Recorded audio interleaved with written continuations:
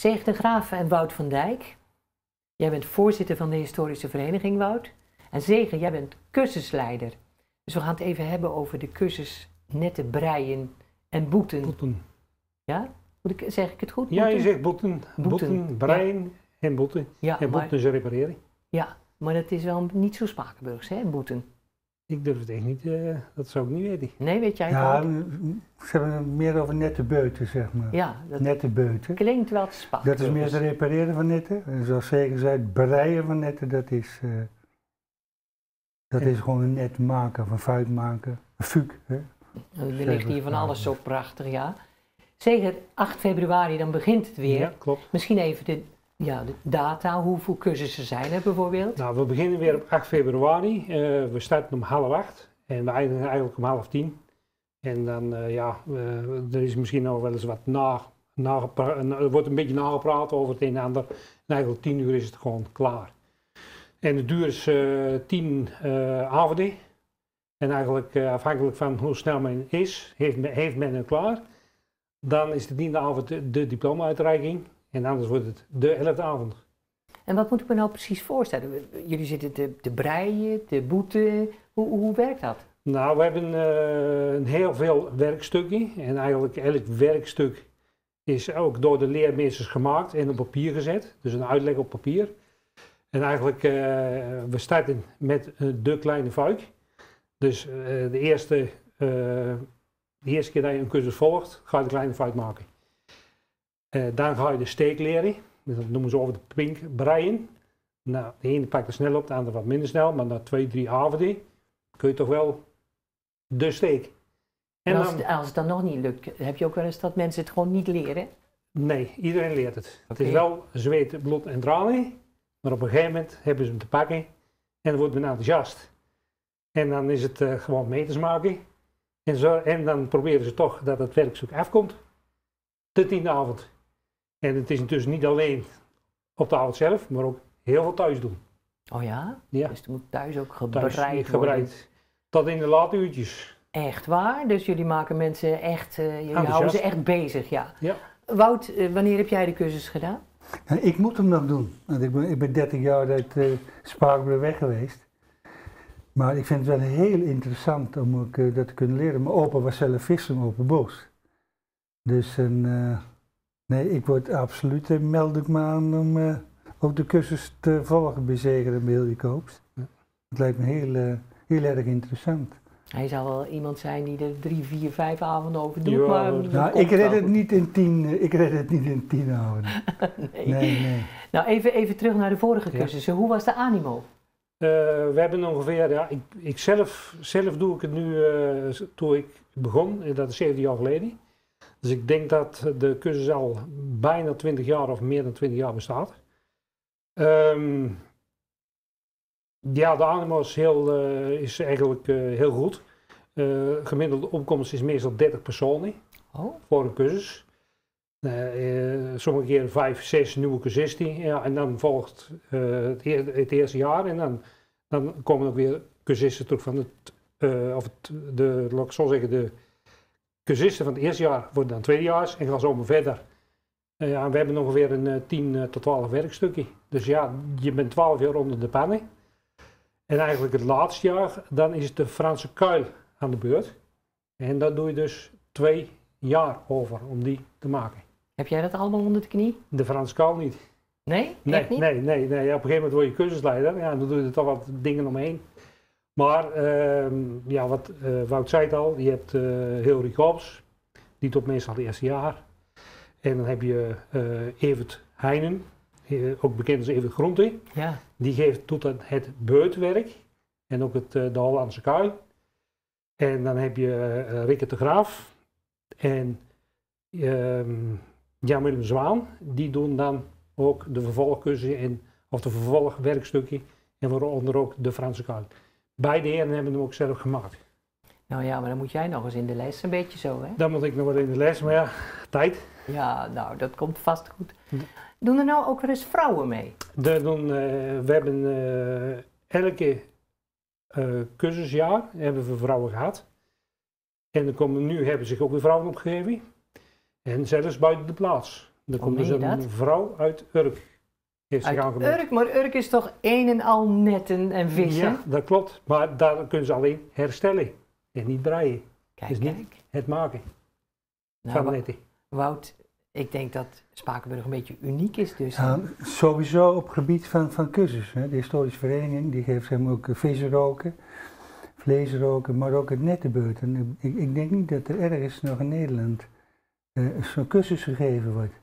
Dus dat is dus heel leuk. Vanuit heel Nederland melden zich mensen aan. En dat zet Spakenburg toch wel weer leuk, eh, leuk op de kaart. Op de kaart, En ja. het is, eh, want kijk, vroeger moesten die netten gewoon gebreid worden. Maar tegenwoordig kopen ze gewoon die netten per meter. En we- waar komen ze vandaan? Zeker? China of zo? China, ja. Ja, ja. precies. Ja, worden gewoon per meter worden gekocht.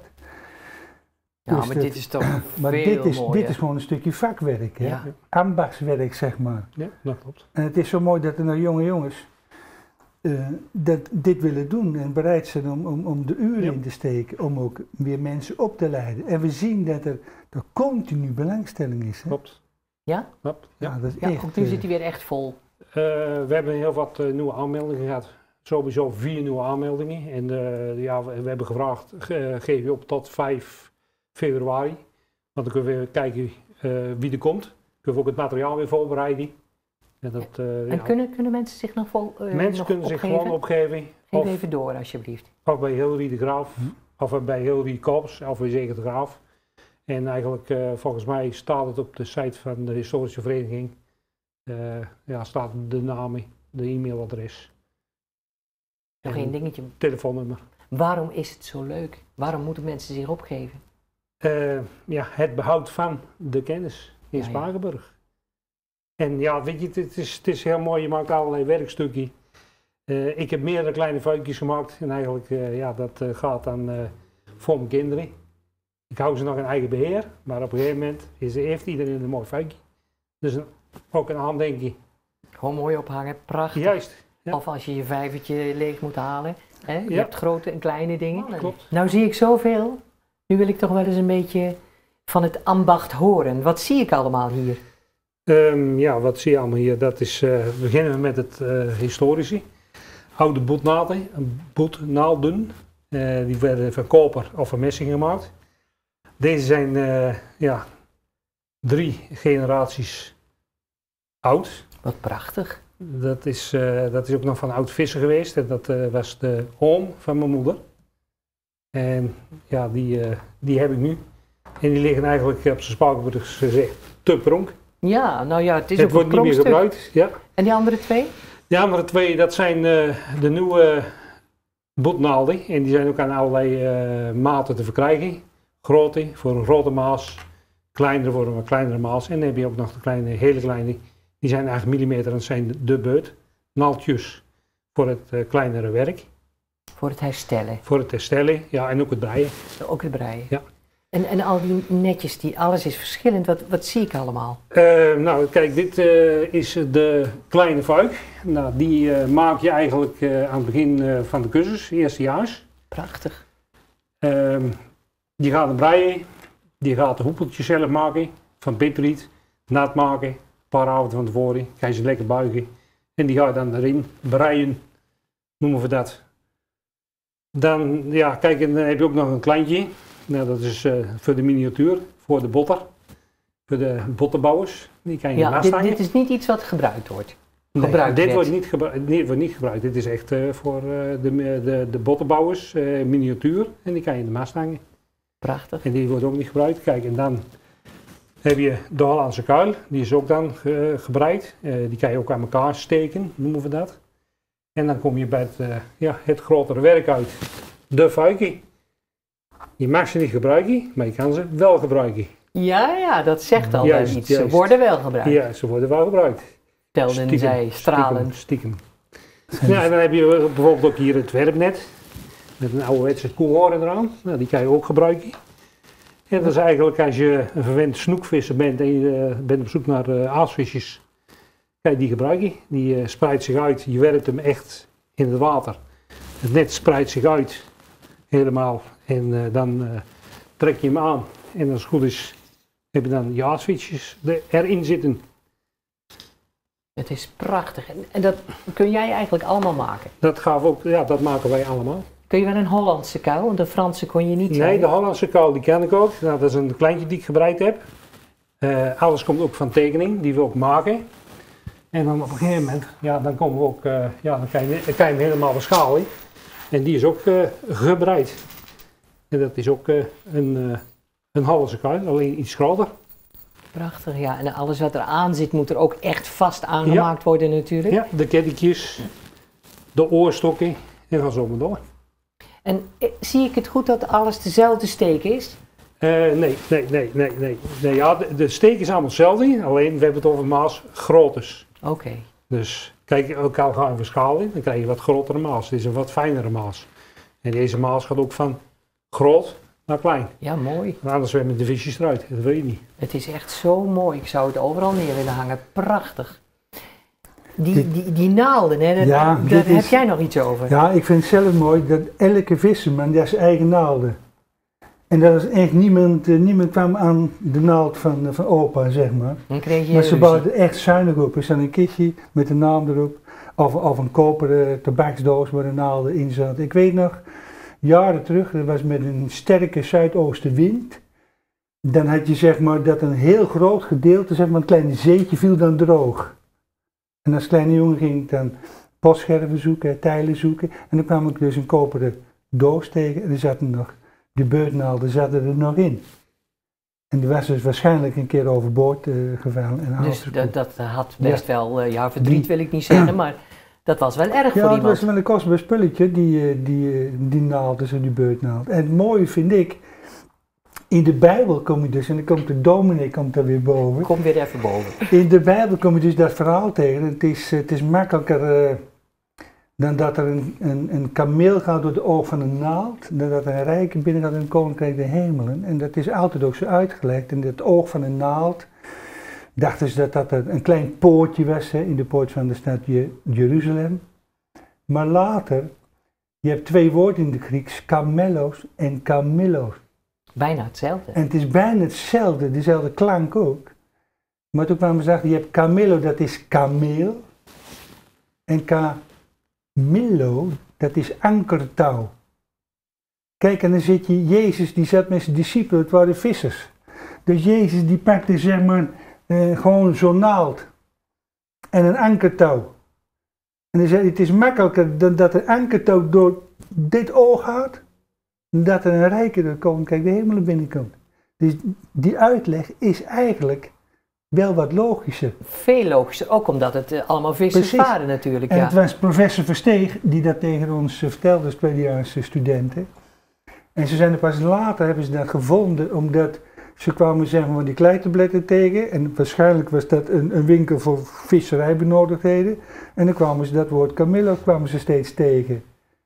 En dacht je, wat is dat? Een kameel in een viswinkel, dat, dat klopt niet. En toen kwamen ze achter dat het een ankertouw was. De, Ik vind dit een heel mooi verhaal, want het is veel dat is, logischer. het is eigenlijk veel logischer is dat. Ja. Zeggen, Dus jullie het- zitten daar gezellig met elkaar ook wel Ja. te oefenen en te breien en te Ja. beuten, zal ik ook maar even zeggen. Eh, wat hebben jullie dan voor gesprekken? Heb je dan ook zulke mooie verhalen met elkaar? Nou, het gaat op een gegeven moment, eh, ja, eh, eh, ja, het gaat over inderdaad heel veel verhalen krijg je. Ook heel veel verhalen van vroeger. Want eh, ook eh, gepensioneerden zitten erop. En ze hebben allemaal wel een achtergrond met de visserij of noem maar op. Wat leuk. Dus en dat is dan de nabespreking. Even aan de bar. Dat maakt het heel, ja, Dat even aan de bar en even eh, Ja. een klein borreltje kijk, en er erbij. komen hele ouderwetse verhalen boven water. Eh, ja, eh, die een hele leuke achtergrond hebben. Heb, je, heb je een verhaal zo paraat? Ik heb niet zo'n verhaal paraat. Nee. Dat is, Dat is- nou jammer. Ja. Maar je zegt ook, eh, ze moeten thuis heel veel breien. Ja. Hoe, hoeveel wel dan? Hoeveel uren Nou, een uurtje of eh 20, 30 Nou. minimaal. Dat is bijna een hele week werken. Ja, dat Een klopt. Maar ja, weet je, sommigen beginnen, eh, als de vrouw naar bed gaat, dan gaan ze het al een uurtje of twee eh door s'nachts. Gebeurt. Ja, Wout, dan weet je nog wat je te, te wachten Ja, staat. ja, ja, ja, als het uh, maar huwelijke kost, eh, Ja, dan, hè, nou, dan Maar moet je het maar weer aan elkaar breien. dan moest het aan elkaar, moest het aan elkaar breien. Ja. En ik vind het zelf ook leuk dat dit allemaal gebeuren mag. in het gebouw van de Postduinvereniging. Ja. Het is echt schitterend, een mooie locatie is dat. En waar de ruimte is. En de, de, maakt, de historische vereniging maakt ook dankbaar gebruik van, Ja. hè, met de klederdracht. Maar ook met, eh, met de nette beuten. Ja, dat is ook bijna een historisch gebouw. Ja, het is bijna een historisch gebouw, ja. En onze, heel, eh, onze collega Hilary Koops heeft een heel archief met allerlei eh, foto's, ga zo maar door. En eh, elke aansluiting van, eh, van de cursus, dan krijgt Alex Koelewijn, de beheerder, die krijgt altijd een mooie poster of een mooie schilderij van vroeger. Met een, ja, een afbeelding van Spakenburg of een botter of een aantal oude vissers op een bankje. Je blijft in stijl. En dan blijven we in stijl. Ja. Ja. Prachtig. Ik denk dat jullie er echt op zitten te verheugen. Heb je nog een mooie Ja, verhaal paraat? Nou, nee, ik vind het leuk dat het weer eh, na zoveel jaar van corona, dat er weer, weer gestart mag worden. Oh ja. En, en er zijn de eerste, de oud-cursisten die zijn aangeschreven. We beginnen weer, hè, want de oudjes mogen eerst, zeg maar. En dan mogen de nieuwelingen mogen zich aansluiten natuurlijk. En dan zie je dat, dat er soms gewoon een wachtlijst is. Ja, ja. Dat is toch Ja, heel geweldig. Dat ja, is een compliment Ja. voor jullie, hè? Ja, klopt. Kijk, het heeft twee jaar stilgelegen in verband met eh, corona. En eh, ja, er is eh, ja, gewoon, we hebben overleg gehad van, ja, moeten we nu wel doen, moeten we het nu niet, niet doen. Normaal beginnen we altijd vroeg in januari. Ja, en dan zijn we ergens in maart klaar. Ja, toen hebben we gezegd, nou oké, weet je, we starten nu in februari, we gaan laten het toch doorgaan. En dan zijn we wat later klaar. Het, En dat het is- zij zo. Ja, gewoon om, om toch, eh ja, kom ik alweer op een sparkels woord, niet te laten verslonzen. Ja, maar spakenbussenwoorden zijn soms wel heel mooi, hè? Ja, hè? Hou jij van, de, van het dialect? Nou ja, ik ben blij dat er eh, sinds kort weer een dialectgroep eh, gestart is binnen de historische vereniging. Onder leiding van Wouter Hopman, Wouter Vinkie. En eh, die hopen ook straks eh, in klaslokalen een uurtje zeg maar, Spaakbus dialect te leren aan de kinderen. Kijk, kijk. Want, want ze kunnen het niet meer. Ze kunnen het niet meer. Absoluut niet.